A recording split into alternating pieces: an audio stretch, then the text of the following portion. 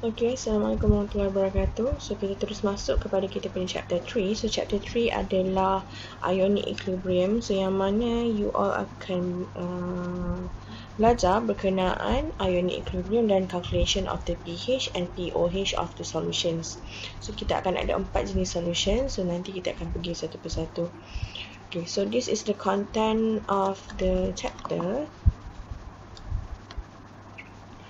So kita ada six bullets here. So the first one is uh, definition of the acid and base. So kita akan ada tiga teori untuk uh, define the acid and base. Which uh, first is Arrhenius, second is Brown-Lowry dan yang ketiga adalah Lewis theory. So kita akan pergi juga kepada types of acid and base dan juga dia punya conjugate pairs tapi conjugate pairs ni lebih kepada for the brown lorry lah. Uh, yang mana kita akan identify the products as the conjugate pairs so yang seterusnya adalah pH and pOH degree of ionization hydrolysis and buffer. So semua yang ketiga uh, yang empat ni adalah calculation of the pH and pOH untuk empat jenis solution yang berbeza. So empat jenis solution yang berbeza tu adalah satu adalah for the strong acid and base. Yang kedua kita akan ada weak acid and base. Yang ketiga hydrolysis tu adalah for the salt solution. Dan yang last sekali adalah buffer solution. So this is the learning outcomes of the chapter. So first, uh, you should be able to define the acid and base mengikut tiga teori tadi. So tiga teori itu adalah Arrhenius, Bronsted-Lowry dan juga Lewis theory. At the end of the chapter, you should be able to identify the conjugate pairs, and calculate the pH and pOH untuk empat uh, jenis solution yang tadi lah strong acid strong base weak acid weak base salt solution dan juga buffer solution. Dan degree of ionization ni adalah referring kepada for the weak acid and weak base. Disebabkan apa yang kita faham weak acid and weak base ni adalah substance yang mana dia partially ionized in aqueous solution. So sekarang ni kita nak tahulah berapa banyak yang kita cakap sebagai partially tu. Adakah 90% adakah 80% so itu yang kita panggil sebagai degree of ionization. Okay. So kita bagi kepada the first uh, definition of the acid and base. So yang ini adalah first theory yang diperkenalkan oleh Arrhenius. Uh, so apa yang dibagi tahu untuk Arrhenius? Apa tu acid? So acid adalah substance yang mana dia produce uh, hydrogen ion ataupun hydronium ion in water solution. Maksudnya when it dissolve in water, dia akan produce uh, H plus ataupun H3O plus. So untuk base pula when it dissolve in water dia akan produce hydroxide ion. So basically macam mana kita nak classify sebenarnya acid and base tu adalah Arrhenius acid ataupun Arrhenius base. So memandangkan untuk acid dia akan produce hydrogen ion dan juga H3O plus. Dia mesti ada at least satu hydrogen pada dia punya chemical formula. Macam inilah untuk acid. Kalau untuk base pula dia mesti ada hydroxide. So macam mana kita nak buat dia punya equation ni? So yang ni example ni Let's say lah for the HCl So HCl when it dissolve in water So dia akan ionize. So ionize kita akan pecahkan dia punya ion lah. So kepada H plus dan juga Cl minus. So untuk HNO3 pecahkan dia punya ion Kita akan dapat H plus dan juga NO3 minus H2SO4 Kita akan dapat H plus dan juga SO42 minus So kat sini kita ada dua hydrogen So kita akan ada dua H plus lah. So for the base pula Untuk base pun sama juga. Kita akan pecahkan dia punya ion Mana it dissolve in water. So kita akan dapatlah Na plus dan juga OH minus BaOH2 Ba2 plus dan juga 2OH minus. Kat sini ada tiga lah. So limitationnya untuk Arrhenius ni dia mesti uh, hanya applicable pada uh, acid dan base yang mana dia dissolve in water ataupun aqueous solution saja maksudnya dia adalah liquid lah and satu lagi limitationnya juga so kita hanya boleh classify the solution tu adalah Arrhenius acid ataupun Arrhenius base hanya, uh, hanya bila mana kita punya chemical formula tu untuk acid dia ada hydrogen dan base dia mesti ada hydroxide. So let's say lah base tu dia tak ada hydroxide. So kita tak boleh nak cakap dia tu sebagai Arrhenius base. So kita akan pergi kepada teori yang lain pula. So ini second theory. So for the second theory dia agak menarik sikit. So yang mana sebenarnya untuk Brownstedt-Lowry theory ni kita akan classify the acid and base uh, dengan uh, cara dia tu boleh uh, donate ataupun accept hydrogen ion ataupun proton. So meaning that sama ada acid ataupun base tu dia adalah sebagai proton donor ataupun proton acceptor. So mengikut Brownstedt-Lowry, uh, so for the acid dia adalah proton donor disebabkan sebenarnya asid ni kita ada lebih hidrogen ion so dia uh, bermurah hatilah untuk menderma proton tu so bila dia derma dia akan ber, uh, loose lah hilang berproton tetapi dia menderma tu donate kepada siapa dia akan donate kepada base. So yang bulat ketiga ni sebenarnya ada spesifik kita punya uh, definition for the brown soot lauric acid. Dia adalah any substance that can donate and uh, hydrogen ion ataupun proton to the base. Dan untuk base pula, dia akan menerima accept the proton from where? From the acid. so ini example-nya. So kita hanya boleh classify sebenarnya brown lauric acid dan juga brown lauric base ni daripada chemical equation. Sebab dia adalah dua hala punya communication. Satu menerima dan satu lagi uh, sorry satu menderma dan satu lagi menerima Okay, so macam mana kita nak classify yang ini contoh kita ada HCl satu dan juga water. So reactant ni sebenarnya adalah acid ataupun base. So macam mana kita nak classify the HCl ni sebagai acid ataupun base? Walaupun kita tahu sebenarnya HCl tu adalah acid tapi kita kena confirmkan adakah dia brown acid ataupun tidak. Okay, so macam mana kita nak classify? So kita saya bulatkan dulu HCl ni dan kita tengok dia punya reaktan yang berkaitan. Maksud reaktan yang berkaitan dia mestilah mempunyai ion yang selain daripada hidrogen. So kat sini kita ada HCl. So selain daripada hidrogen kita ada Cl lah. So Cl adalah dia punya produk. So kita compare. So kat sini HCl kita ada satu hidrogen. Dan untuk Cl pula negatif pula kita ada kosong hidrogen ion. So maksudnya dia hilang lah hidrogen. So losing a proton meaning that dia adalah acid. Dan di sebelah ni pula so kalau ikutkan sebenarnya acid dia akan donate the hydrogen to the base. So sebelah ni sepatutnya base lah. So confirm betul ke tidak dia adalah Brownsville base. So H2O kat sini kita ada dua hydrogen. So sebelah ni kita ada tiga hydrogen. Dia punya produk lah. So betul lah. Okay. dia bertambah gain the proton so ini adalah base. Dan menariknya juga untuk Brownsville-Lowry theory so the product tu pula kita pun ada dia punya term dia punya nama.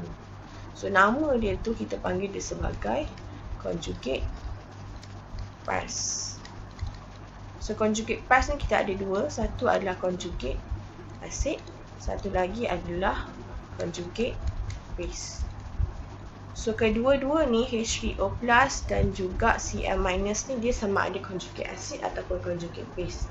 So let's say lah kita punya reactant tu adalah uh, base.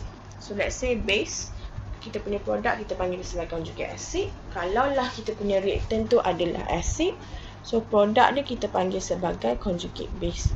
So contoh kat sini HCl adalah acid So produk dia tadi adalah Cl minus. So Cl minus ni kita panggil dia sebagai conjugate base. So base H2O conjugate acid kita adalah H3O+. Pun samalah untuk yang example kedua ni. So kita ada NH4+. Related produk dia adalah NH3 daripada 4 hydrogen kepada 3. So dia losing a proton. So kat sini ada acid. NH3 ni adalah sebagai conjugate base. So OH minus kita ada satu hidrogen bertambah kepada dua. So ini adalah base. H2O adalah conjugate acid. Dan sama juga macam arrhenius, dia ada limitation. So, yang mana hanya solution yang mempunyai hidrogen sahaja kita boleh classify kepada acid and base. Kalau tak ada hidrogen, tak boleh nak classify. So, kita pergi kepada next theory, Lewis theory. So, Lewis theory pun sama, yang mana akan ada accepting dan juga donating. Tapi accepting ataupun donating apa, dia adalah accepting ataupun donating of electron. Okay.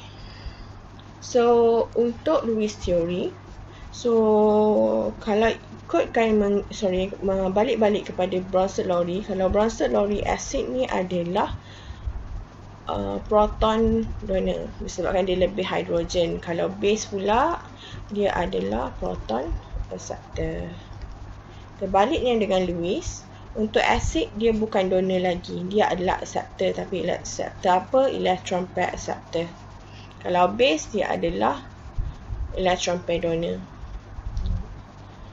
Uh, dan normally kita nak tengok lah sama ada uh, cara yang mudah untuk kita classify the acid tu adalah Lewis acid ataupun tidak.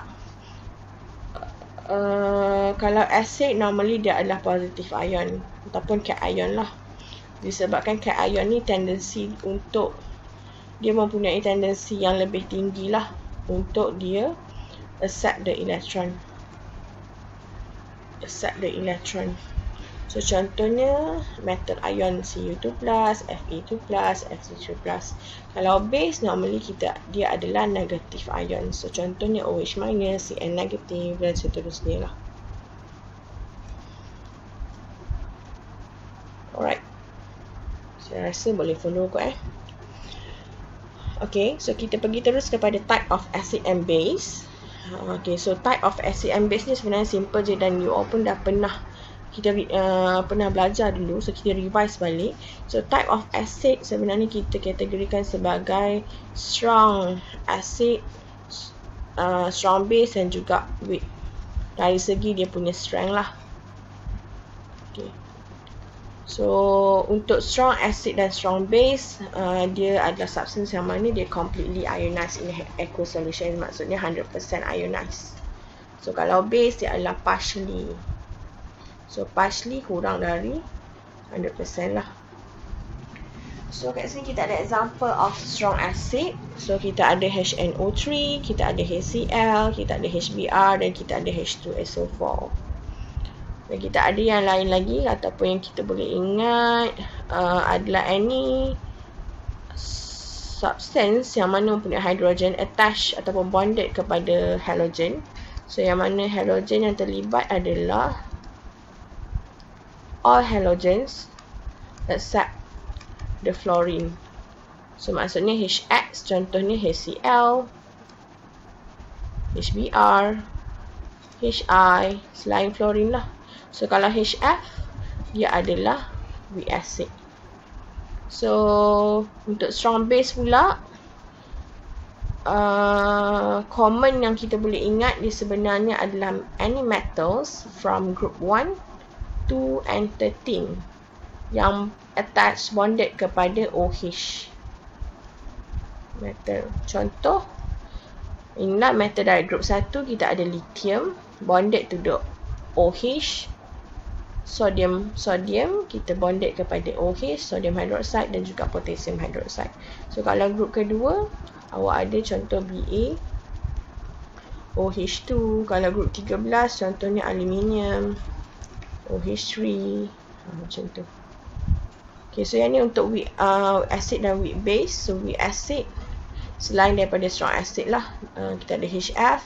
Dan yang ini contohnya adalah for the carboxylic acid. So, carboxylic acid adalah any alkyl group yang attach kepada COOH. Dan kita ada HCN juga. Untuk weak base selain daripada strong base yang kita ada. Right, so saya ulang balik yang untuk conjugate saya adalah term untuk kita identify the products of bronzed lauric acid dan juga bronzed lauric base. So kalau katakanlah acid and base, so the acid kita punya produk tu adalah conjugate base dan untuk base pula kita punya produk kita panggil dia sebagai conjugate acid. Okay, so ini adalah contoh. Let's say kita ada HNO2. So, the related product dia adalah NO2 negatif. So, dia kurang satu hidrogen. So, ini adalah acid dan dia punya produk ni kita panggil sebagai conjugate base lah. Dan base pula sebaliknya. So, base dia punya produk adalah conjugate acid. So ini adalah spesifik uh, lebih spesifik dia punya definition. So yang mana untuk conjugate acid they contain more hydrogen. So let's say lah ini conjugate acid dia contains more hydrogen. So kat sini ada tiga hydrogen kalau kita compare dengan dia punya reactant.